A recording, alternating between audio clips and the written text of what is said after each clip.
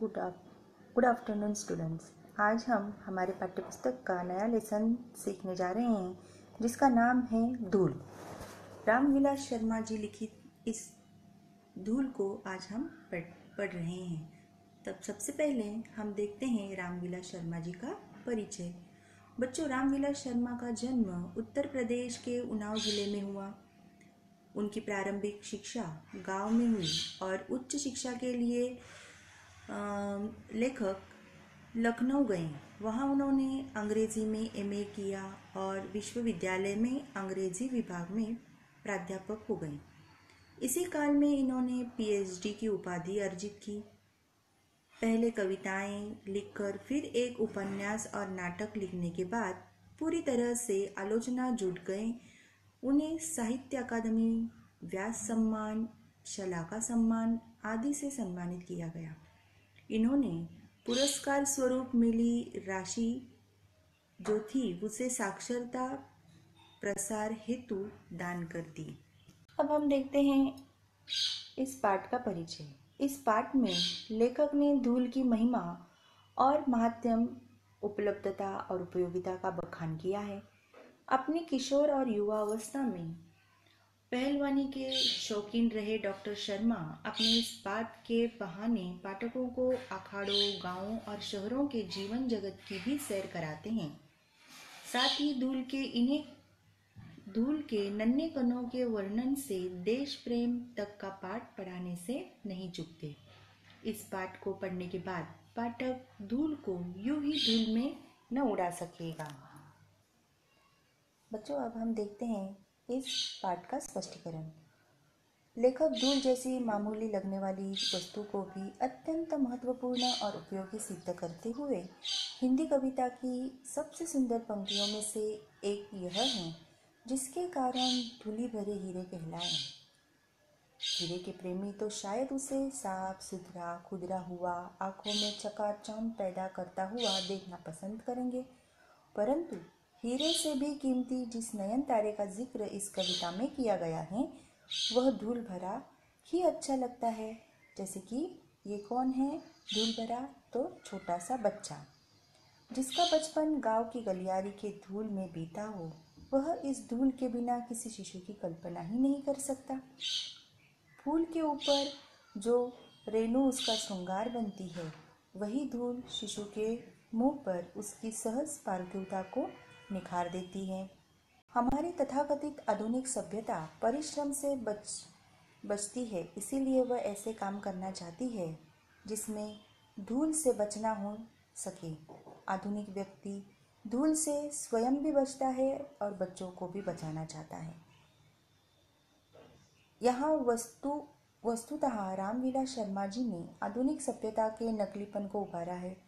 यह सभ्यता इसीलिए धूल से बचना चाहती है ताकि उसकी दिखावटी सुंदरता चमकती ही रहे।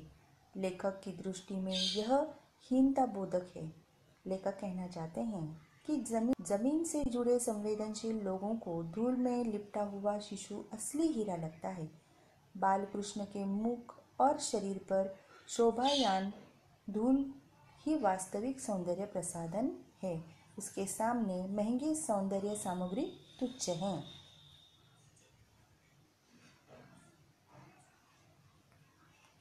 लेखक ने शहरी नकली वर्ग पर टिप्पणी करते हुए यह भी कहा है कि वह धूल से बचना इतना दूर, इतने दूर भागते हैं तो वे अखाड़े की मिट्टी को देखने पर उसकी बुरी अवस्था हो जाएगी।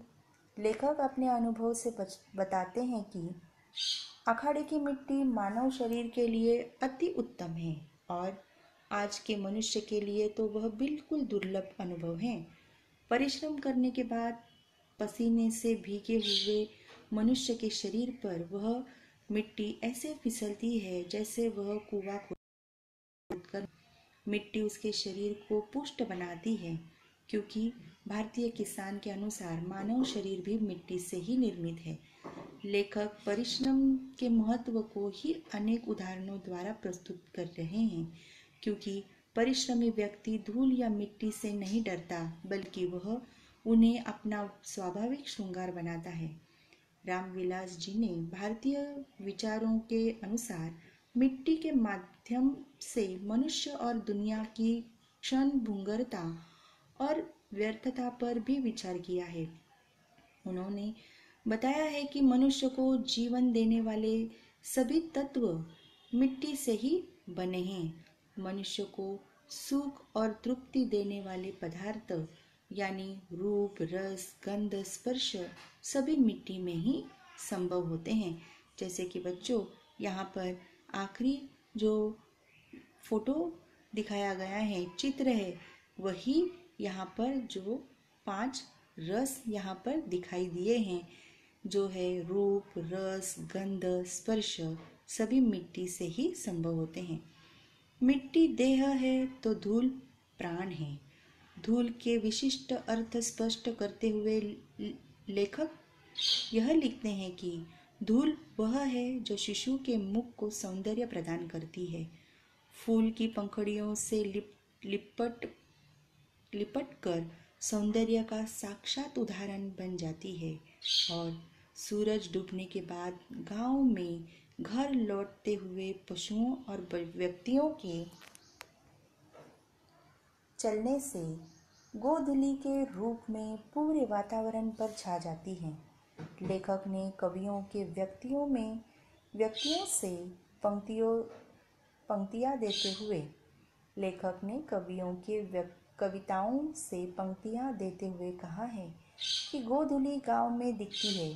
शहरों में किसी को गोधुली का अनुभव नहीं होता, क्योंकि वह मेहनत कश गोपालों के पैरों से जन्म लेती है। धूल की महत्ता के संदर्भ में लेखक ने कई उदाहरण देते हुए कहते हैं कि सती इसे माथे से और योद्धा आँखों से लगाते हैं। यूलिसिस ने प्रवास से लौटने पर इथाक की पवित्र धूल चूमी थी। यूक्रेन के स्वतंत्र होने पर यह सैनिक ने श्रद्धापूर्वक वहाँ की धूल का स्पर्श किया था। श्रद्धा, भक्ति, स्नेह चरम अभिव्यंजना के लिए धूल से बढ़कर दूसरा कोई विकल्प नहीं है।